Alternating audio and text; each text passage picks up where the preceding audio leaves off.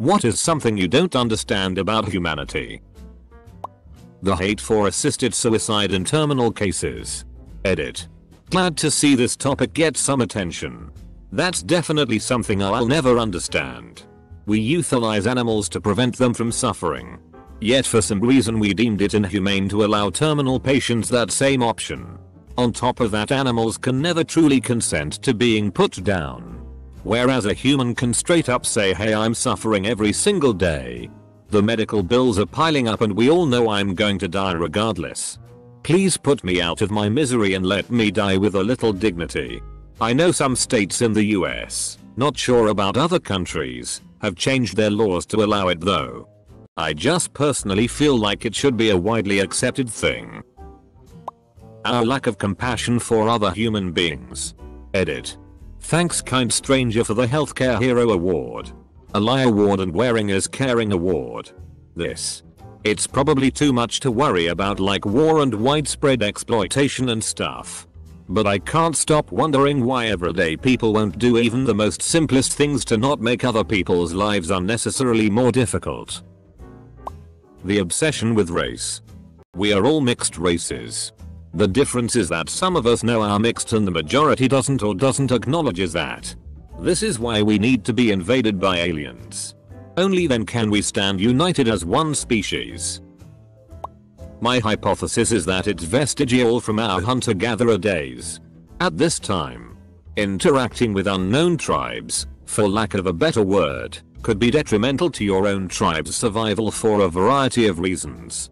Competition for resources, food, water, etc. Disease, war, etc. So it would be sensible to avoid these unknown peoples. And a different appearance would be the first unrecognizable trait. Even with all of our modern intelligence. It may still be difficult to overcome our atavistic emotions. Cultural heritage takes the race aspect of it. Culture is predominantly a geographic thing. We all gotta grow up somewhere. Racism solved. I really don't understand why there are so many people who aren't honest by default. The need to lie is something I'll never understand. Short term versus long term gains. In the short term, dishonesty gives one the power to avoid or postpone a lot of socially unpleasant interactions. In the long term it's a strategy that bears bitter fruit. As the cost is trust and relationships that require trust to work. But not everyone is good at consistently looking long term. Our complete disregard for nature and the other animals on this planet. Short-sightedness. We need immediate gratification even if it's at the expense of a bird. How people can hurt children. I don't understand how people can purposefully harm a child without suffering immense amounts of guilt. I know I would. Why there's 8 hot dogs to a pack. But 6 hot dog rolls to a pack. The buns I buy have 8 in the pack. How they perceive childbirth as a favor. Giving birth to a child and providing him her the bare minimum to stay alive is not a favor on your offspring. Parenting is not as noble as people may think. Or how one's parents expect you to give them grandchildren like it's some sort of preordained right they have. Lucky for me. Mine didn't give a shit. Disregard of lives and close-mindedness. People's inability to trust science especially when it's for something like I don't know. A global pandemic. Turns out that faith and freedom are not especially effective vaccines. How can we have people starving in 2020? I simply can't understand why this problem is so hard to solve as a planet. Hunger was literally 100% solved in America by 1970s. The government distribution system was working great. It was low cost and lead to a healthier and smarter population. We decided to dismantle 95% of it because of the meme that someone somewhere might have bought a steak and booze with a food stamp. How people all want the same thing but won't stop arguing how to get there. Because the details are important. If everyone agrees we need to build a ship to get across the sea great. Now we need to decide where we get the lumber from.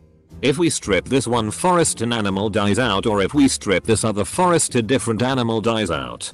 The point I'm making is the details and repercussions of those details are as if not more important than the end goal.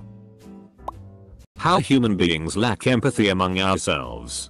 We just aren't inherently designed to understand and comprehend things that haven't happened to us.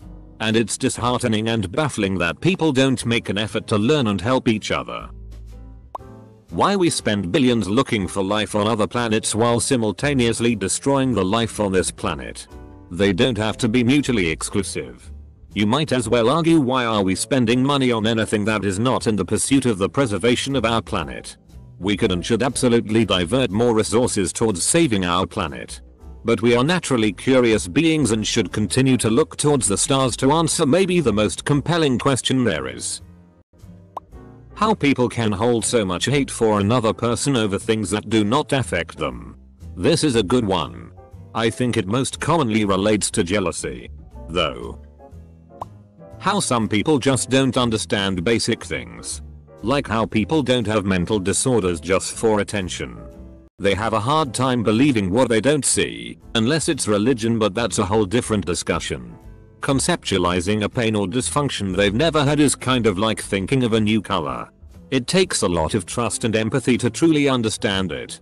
Humanity is really not good at either of those things. Full stop. Full stop. As a whole anyways. I will never understand why we try to live up to the expectations of others. Even strangers. I think instinctually people know they are safer as part of a community. So it's natural to want to fit in. Why do we make stupid people famous? You won't attract any flies with vinegar. You'll attract a few flies with honey. But most flies will be attracted by bullshit. Double quote. Why we can't just put on a damn mask. The people that grind my gears are the ones that claim they have a medical condition so serious that a mask would harm their health. Dot. Yet they are being asked to put it on in an environment where they are unnecessarily exposing themselves to a deadly virus. The Holocaust. How the fuck? Desperate country. Manipulative leader. Fear. Bureaucracy. Etc.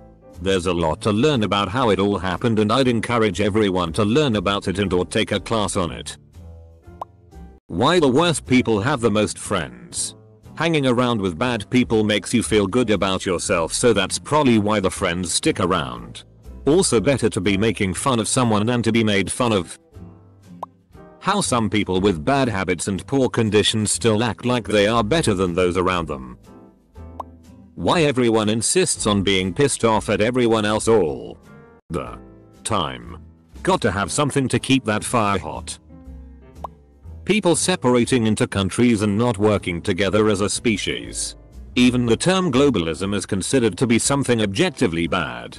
I know we work together on some things, but I still feel like we are a lot more separated than we need to be. Countries are separated because they have different beliefs, social behaviors, and cultures. How people can have all the free education in the world literally at their fingertips, internet, but still not be educated at all.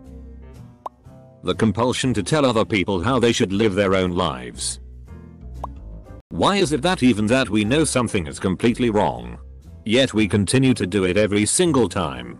Everything that kills me makes me feel you. How people can have such an issue over letting people identify or marry how they want. I feel less people are troubled with the marriage thing nowadays. The identity matters when you start getting into details and trying to say scientific fact is wrong.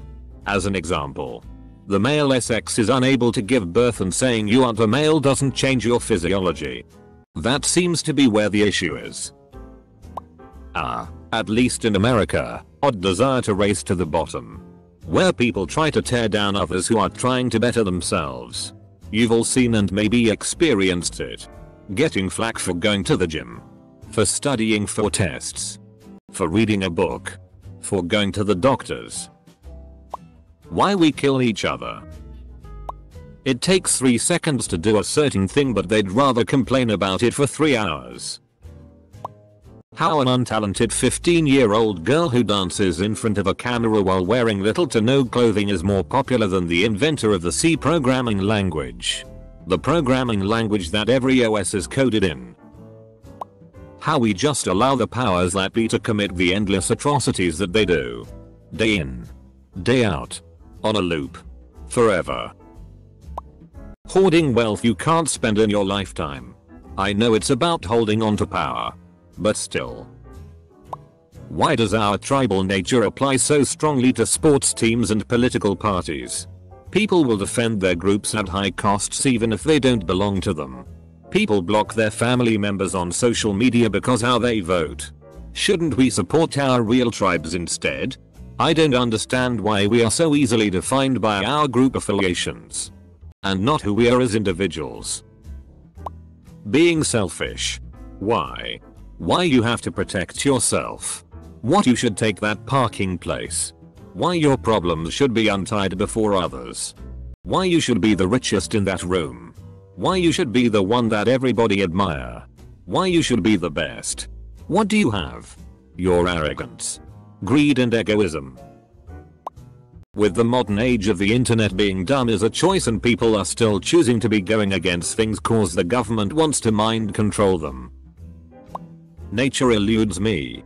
But I strongly believe that people are not born evil. That evil exists separate. Alive. And makes people into something like itself. I think it's important to separate suffering from evil. I think the Buddha's first noble truth is demonstrably true. Life is made of suffering. It requires suffering, breakdown, and destruction to perpetuate itself. It's unavoidable.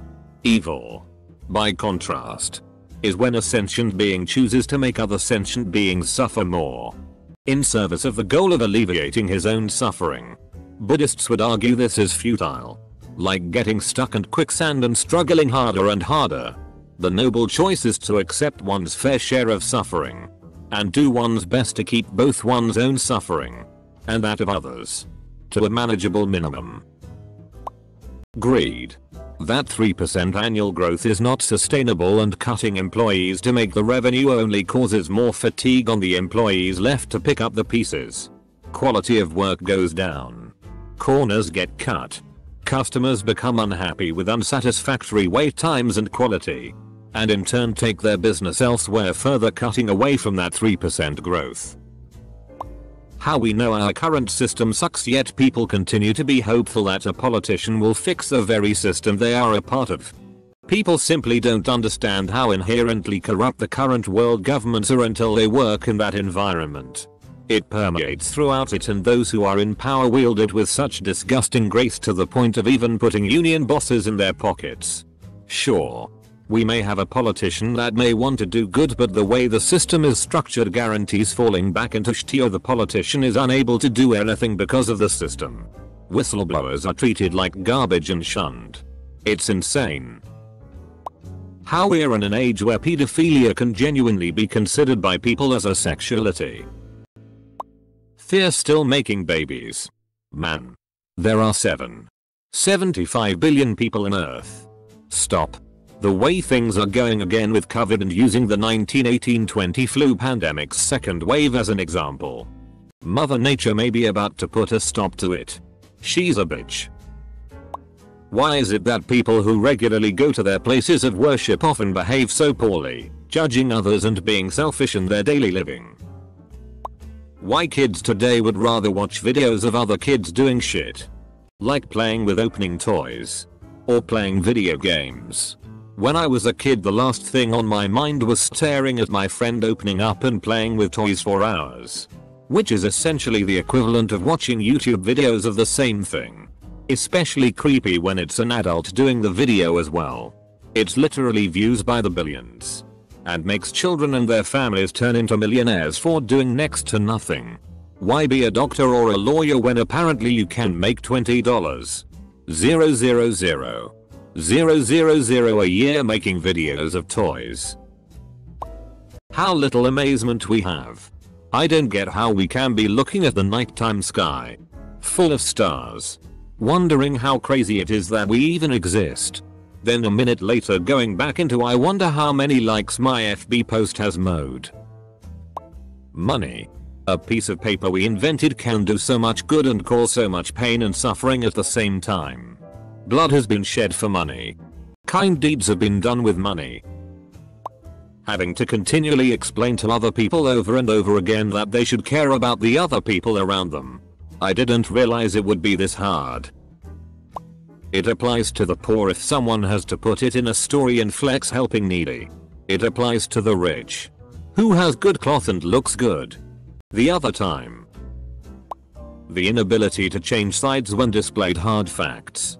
For example, anti-vaxxers, flat earthers, holocaust deniers.